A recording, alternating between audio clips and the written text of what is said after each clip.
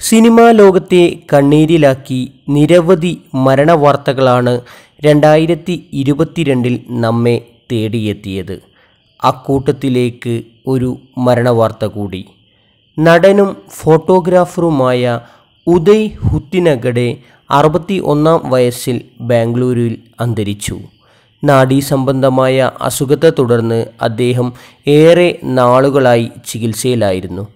ബാംഗ്ലൂരു രാജാജി നഗറിലെ വസതിയിലായിരുന്നു അന്ത്യം. ചിക്കമംഗ്ലൂരു ബസരിക്കര സ്വദേശിയാണ്. ആയിരത്തി തൊള്ളായിരത്തി എൺപത്തിയേഴിൽ ആരംഭ എന്ന സിനിമയിലൂടെയാണ് അദ്ദേഹത്തിന്റെ വെള്ളിത്തിരയിലേക്കുള്ള പ്രവേശനം. പിന്നീട് രാജ്കുമാർ വിഷ്ണുവർദ്ധൻ അനന്ത് നാഗ് അംബരീഷ് തുടങ്ങിയ കന്നഡ സിനിമയിലെ പ്രതിഭകൾക്കൊപ്പം അഭിനയിച്ചു. അമൃതബിന്ദു കർമ്മ അഗ്നിപർവ ടൈഗർ പ്രഭാകർ തുടങ്ങിയ സിനിമകളിൽ ശ്രദ്ധേയ വേഷങ്ങൾ ചെയ്തു.